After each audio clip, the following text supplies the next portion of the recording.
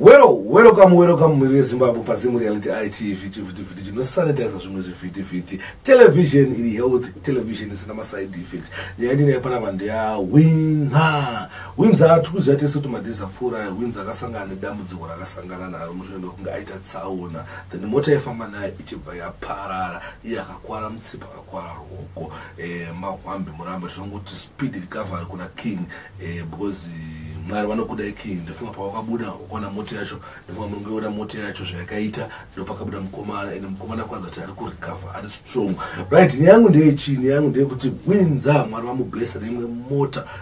Car mahwambe murambe. Saka chakuratidza ka vhidhio kacho mubva maita se mubva makaona. Then mubva makomenda kulika nekushare this video kuita kuti kana mwana wemumwe munhu mwana wemwe mbuya kana achinge yagona zvakakosha kuti tise ticelebrate because mangwana ndiwe watiita se watinge tichicelebrate saka vhidhio yacho nemota yacho goyo!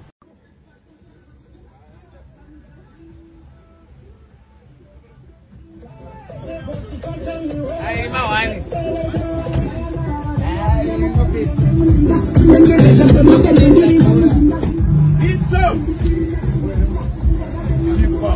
Chopisa chobhina totirimwedzotiramototuna futimesa chavaida ndivire mutsaoni ava negodo ndavaoni ama mune mwoyo yakaoma. Ndinotenda jesu ndakapona. Ehe mutsaona ava negodo ndavaona ama mune mwoyo yakaoma. Ndinotenda jesu. Mwari wazviramba wakati handingafi handingaende ndisina kuoneka fafi. Avo vane godo vada kundiisa pasi. Cheukaionekwa ndiri nhasi. Vanga vanogejera ndisike munamei kuda kuvabvunza ndakavatadzirei kona iwe hama munondidarirei zama kudanisa